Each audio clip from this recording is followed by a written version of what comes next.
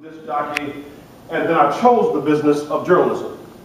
Uh, I'm a father, I'm a husband, I'm a grandfather, I'm a pastor. So as we have this conversation, know that people you deal with, um, they're not 24-7 media. I know you knew that. But they're real people who go to Starbucks, folks who go to Bob Evans, the real folk you may see walking in your community.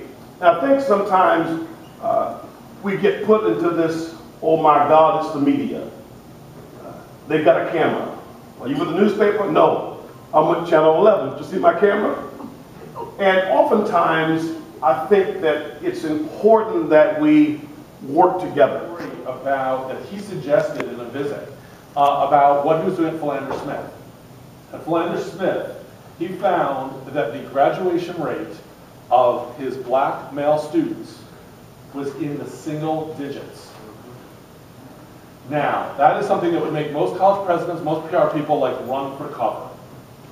He said, yeah, this is a problem, and here's what we're trying to do about it, and he started a bunch of programs, and he doubled the graduation rate. Now, he was able to double the graduation rate in part because it was so low. But he actually moved the needle, and he talked about it. I think that made him look so good. If you ask most reporters, do, do they have high graduation rates at historically black colleges? They'll say no, they have terrible graduation rates. And for some institutions, that's true.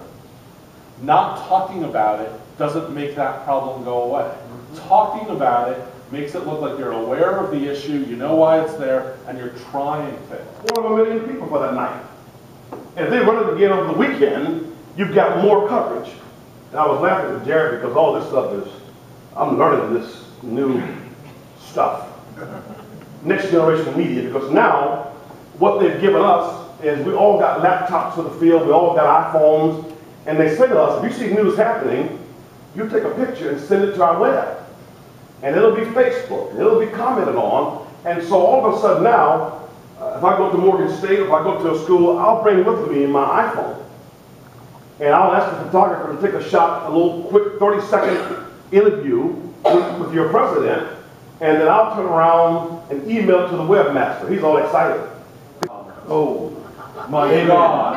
And, and, and also, don't not return the calls or emails. So, here, so I'm old enough that I started my journalism career in the phone-only days. And so sometimes I knew that I just, I couldn't find a home number, something broke on a weekend, and I would have to say, couldn't be reached for comment. Every one of your presidents has got this on his or her body and probably is checking it 80 million times a day. Mm-hmm. So if I don't hear back, I'm not going to say couldn't be reached for comment. I'm going to say wouldn't return the call. It is a 24-7 news cycle, period. You must accept that.